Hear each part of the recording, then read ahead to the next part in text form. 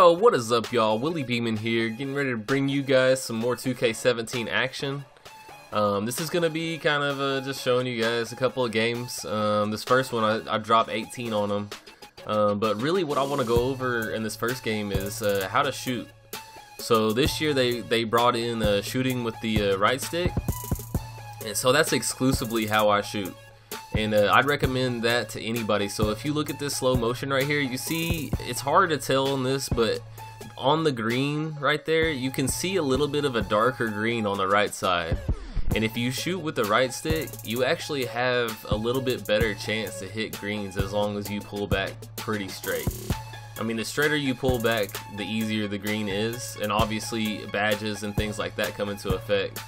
So, I mean, if you have corner specialists, you have catch and shoot, um, on Hall of Fame. You know, you got deep range Deadeye on Hall of Fame. If somebody throws you the ball in the corner like this, and you pull with the right stick, if you pull it straight back, it's a lot easier to hit a green than it is just to hit the square button. And, uh, you know, I've tested this. I've tried out the square button a little bit here and there. Um, it's obviously easier to time just because it's more familiar to you. But after you use the right stick, you know, for 300 games or so, it, it really it feels natural now. Like it kind of feels weird to shoot with the square button for me now.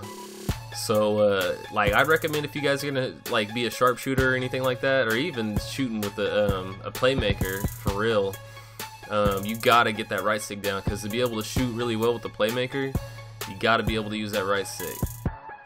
Alright, so this next gameplay is going to be, uh, you know, we rolled into Old Town, and there was this nine-game win streak, and, uh, you know, uh, me and Brother Jones were checking out their badges and stuff like that. And uh, this slasher had a bunch of Hall of Fame badges, and the uh, big man had a bunch of Hall of Fame badges. So we wanted to go try it out. You know, we don't play. It doesn't seem like there's a lot of people getting these Hall of Fame badges yet. So we wanted to go, you know, test our game out, see how good we were. And uh, you'll see by this gameplay that you know our squad, our squad is legit.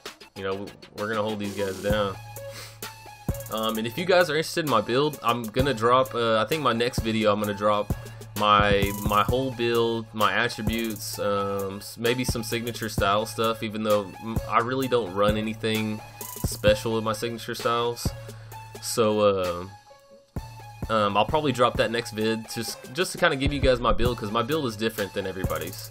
Um, I, I haven't seen anybody um, with my build out in the park yet, and uh, it's really cool. Um, it's a 6'10 power forward, which is uh, which is kind of weird but at the same time, I can snag. Like, you wouldn't think I could, but I can snag over all the glass cleaners. Um, the key is to box out. You know, this year it's a lot harder to box out than in years past, so, um, you know, you really got to be on your game whenever you're in there in the, uh, in the paint.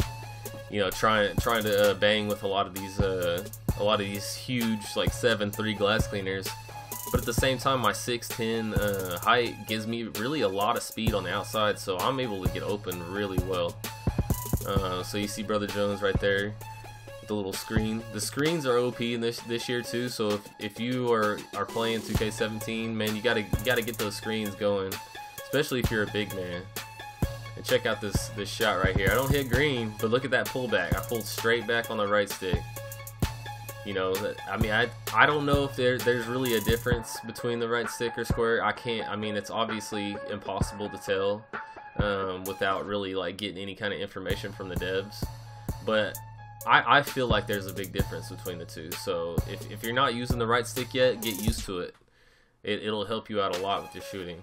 Um, I definitely recommend it for playmakers too, because you know your shooting's already bad anyway.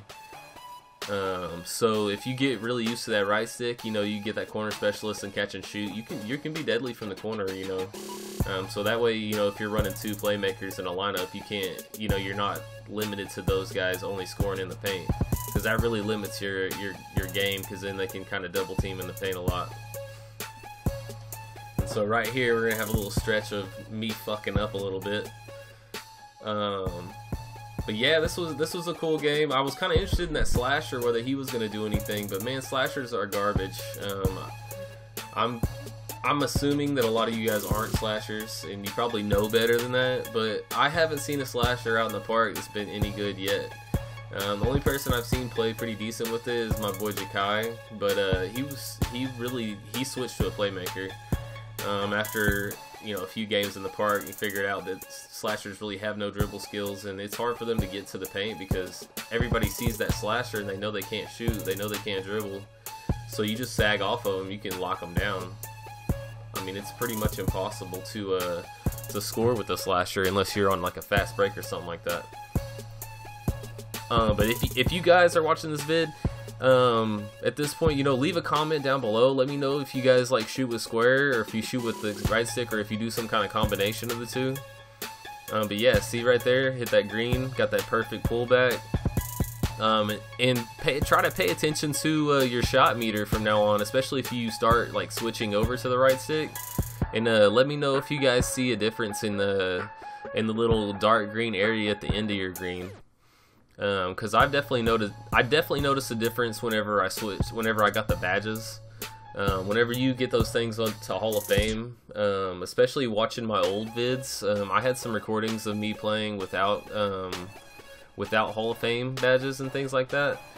Um, which that first game that I showed, I actually had gold badges in that game, so I was watching that, but I still had you know quite a bit of a, a green like bar there, so I'm not quite sure how big of a difference Hall of Fame makes on getting greens. Um, but you know this this game is still new, so you know everybody's still trying to figure everything out. And uh, if you like the video, leave a like. And uh, this is Willie Beamon, and I'm out. Thanks.